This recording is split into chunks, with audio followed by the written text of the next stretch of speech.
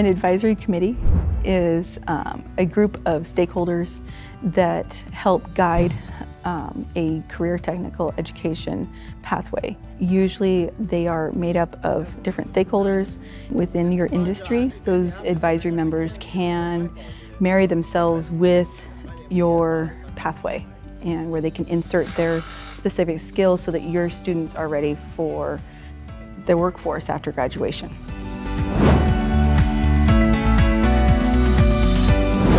The advisory committee members should be uh, major stakeholders, so it should be at the very least the CTE teachers that are teaching CTE courses within that pathway. Um, it also should be at least two or three business partners, administration at the school, and possibly at the district.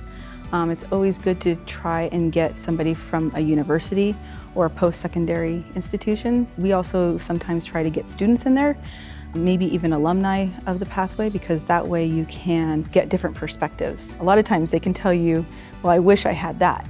And that's really, really valuable having a student that actually went through your program.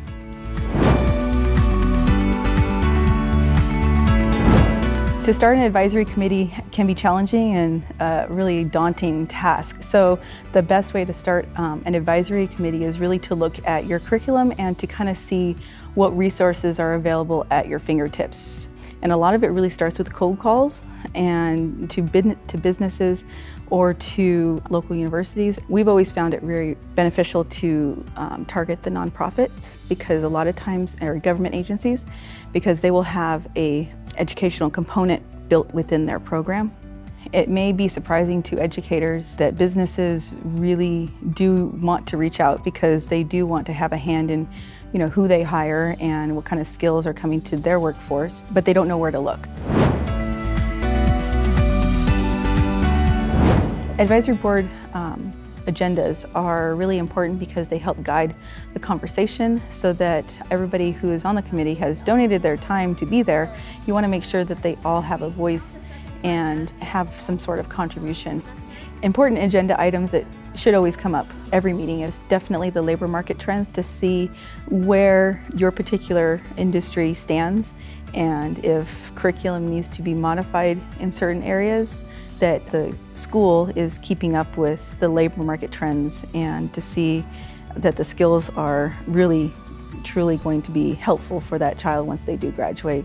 It's important to also keep everything up to date, so new business and old business. Um, it's always nice to have students maybe report out on projects that they have done throughout the year. Sometimes a tour of um, or a video of what goes on can be helpful to connect the classroom with the advisory committee.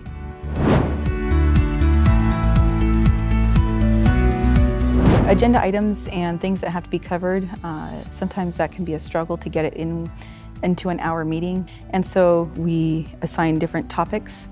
And since we are a career academy, we also have academic teachers that are involved. And so what ends up happening is, is that an academic teacher and maybe a student will pair with a business partner and they will address a problem or a topic. And then at the end, we'll do kind of like a whip around and it just builds upon that that rich conversation that needs to come out of an advisory meeting, and it doesn't take two hours.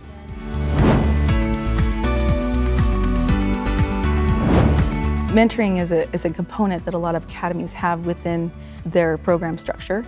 And so what ends up happening is, is that the people sitting around your advisory board are great tools to be used and to go and find other mentors and really engage in that network of um, contacts. Uh, we've gotten so many mentors, great mentors that come back year after year and volunteer their time to mentor our students.